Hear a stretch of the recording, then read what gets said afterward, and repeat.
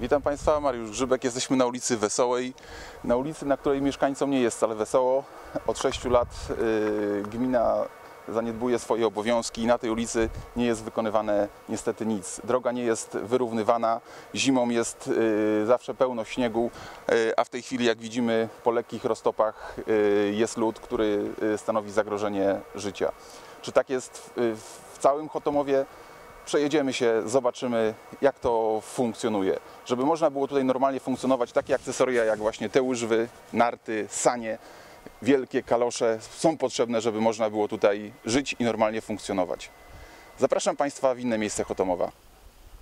Minęła godzina, jesteśmy u zbiegu ulic Podleśna Żeligowskiego. Jak Państwo widzą, nie są już tutaj potrzebne łyżwy, nie ma tutaj ani śniegu, ani lodu. Jest za to sucha, czysta droga, na której jest asfalt. A więc można. Zadajemy więc pytanie, czy można zadbać o inne ulice naszej gminy, jak o tę, przy której mieszka pani wójt?